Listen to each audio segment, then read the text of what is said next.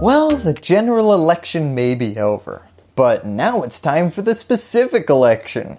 And to the Electoral College, the only college with a conservative bias. Some people are concerned about the interview process for state electors, which generally consists of, do you know someone from the party that just won? Great. If I hand you a piece of paper, could you spell the candidate's name correctly on it? Whoa, got it right without even needing to see a bumper sticker. You're overqualified. Generally, this elector appointment process is incredibly mundane, but the Trump administration never fails in giving me the opportunity to explore the intricacies of institutions I previously just took for granted. Today we're looking at the potential strategy of not certifying state election results and then having the state legislature appoint their own slates of electors instead.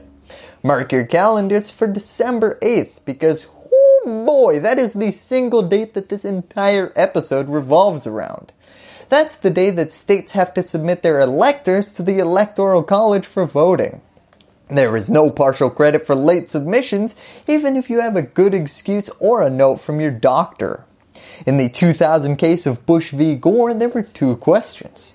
First, were the recounts in Florida unconstitutional? Of which a uncontroversial 7-2 opinion said that they were. Second, do we have enough time before the state electoral deadline, this year December 8th, to do a constitutional recount? To which a 5-4 majority said, Nah, we marked our calendars months ahead of time. Can't delay electoral appointments. I can't book a replacement Christmas flight on such short notice. Just go with the results you got. I'm sure they're fine. So with December 8th in mind, let's get to the planning. The single most important thing you need to keep in your mind if you're pursuing this strategy is do not, under any circumstances, have your state secretary or governor certify the election results. That's an instant game over.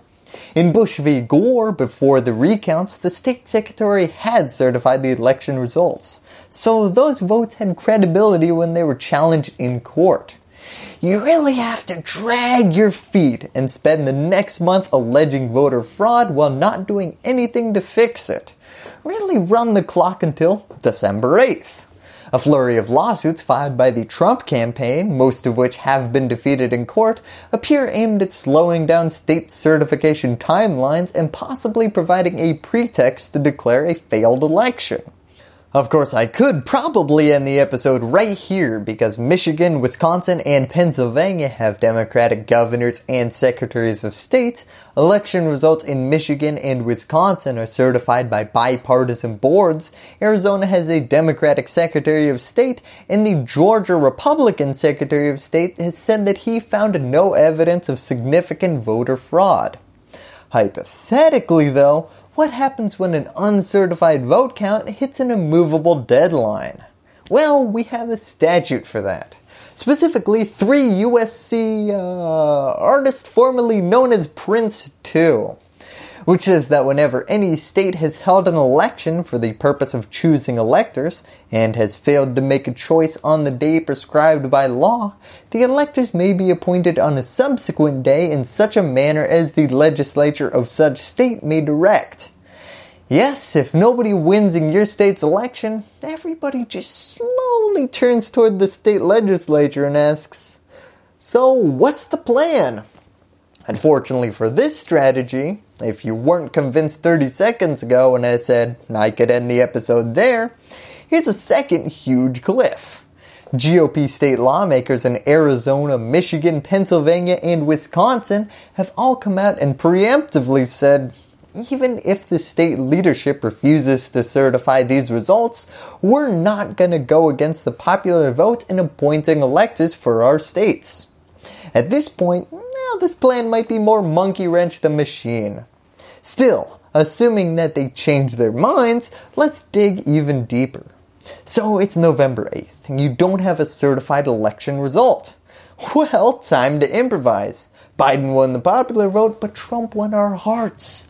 We're going to put in our own slate of Trump electors. This is not the end of the conversation though, because critics argue, Whoa, whoa, whoa. Just because there isn't a certified election result doesn't mean you can't just swoop in there and do whatever you want. There's one key phrase in that law that has not been addressed yet. Has failed to make a choice on the day prescribed by law. So what constitutes failing to make a choice?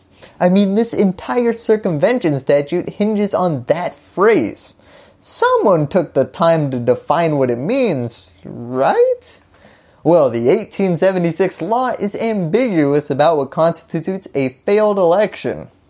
Yup, anyone who complains about how today's acts are too long, well, back then Congress was just shooting first and asking questions later. So is an uncertified election with a winner a decision? Well, if it is, a separate statute applies. The safe harbor statute that Al Gore is all too familiar with. It says that if a state has a process that produces a contested outcome prior to election day, then the determination reached by that process shall be conclusive and shall govern in the counting of the electoral votes as provided in the Constitution. The only requirement is that the final determination be reached by December 8th.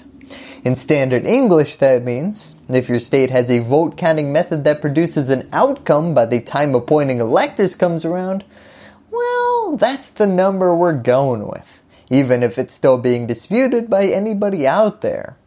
Of course, an uncertified outcome might not be an outcome. That'll be determined by who has the better lawyer. So that's the current discussion about state legislators appointing electors contrary to the popular votes in their states in a nutshell. The necessary people for this strategy in swing states do not seem to be enthusiastic about lighting the fuse to this legal tinderbox. So unfortunately, I probably won't be able to cover this incredibly interesting potential debate as a Supreme Court episode. Even if one state did do this, that would not be enough to change the election results unless that state was California. Thank you and that's all I have to say about that. Hello YouTube! First I'd like to thank my patrons for helping me put out my videos. Thank you! If you want to see my coverage of Bush v Gore, click here. Remember to like, subscribe, ring that bell, and all that other fun YouTube stuff that tells the algorithm that I have a good episode on my hands. Lastly, as always, thank you for watching.